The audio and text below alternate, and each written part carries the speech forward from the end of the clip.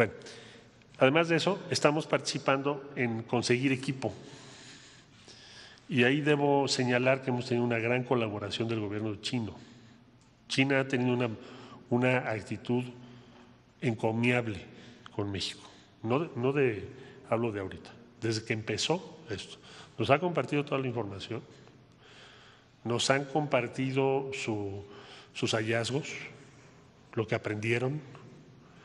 Eh, y no solo eso, el día de ayer, con ayuda del gobierno chino, conseguimos un pedido que necesita el sector salud, que son 300 ventiladores, para reforzar los sistemas propios, para que cuando tengas pacientes que necesiten ayuda, apoyo, pues tengas los equipos necesarios.